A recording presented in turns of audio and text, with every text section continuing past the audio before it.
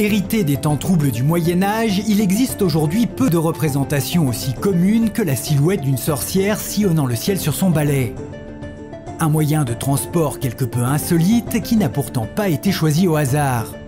Bien plus qu'un vulgaire ustensile de nettoyage, il révèle en fait une symbolique et des fonctions fascinantes.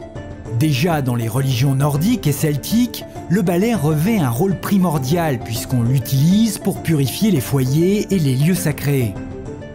Fabriqué dans des bois spécifiques comme le saule, le bouleau ou le genêt, il doit correspondre à des dimensions précises. En effet, objet chargé d'un pouvoir mystique, il agit en clé ouvrant la compréhension de l'univers surnaturel. Une autre signification, celle-ci à caractère sexuel, nous indique que le manche figure l'organe masculin et la brosse l'organe féminin. Le balai devient alors symbole de fertilité sacrée. Sorcier et sorcière ne le chevauchent d'ailleurs pas de la même façon. Lui doit le monter manche en avant et elle brosse la première. Une subtilité qui aura échappé à bien des dessinateurs et des scénaristes, probablement par souci d'esthétisme. Maintenant prête à rallier les puissances occultes du sabbat, la sorcière doit encore résoudre un détail technique, le décollage. Pour cela, elle va enduire le manche de son balai d'une matière à la composition très spéciale, Sources populaires et chroniques historiques mentionnent une pommade hallucinogène à base de belladone, cigus, stramoine, mandragore et seigle. Le seigle est la céréale qui sert à confectionner le pain du Moyen Âge. Son champignon parasite, appelé ergot de seigle, intéresse tout particulièrement les sorcières pour ses propriétés psychotropes.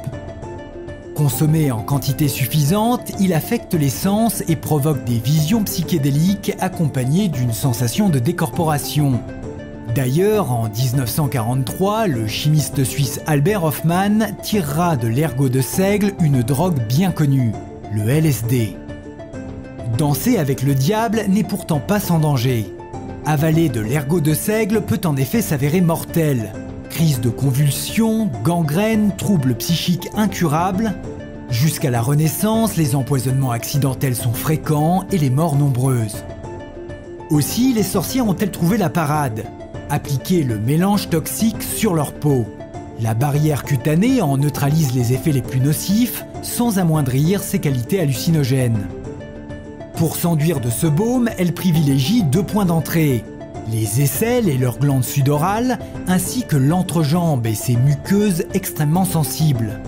Et bien sûr, rien de plus pratique pour se badigeonner qu'un bon vieux balai sacré.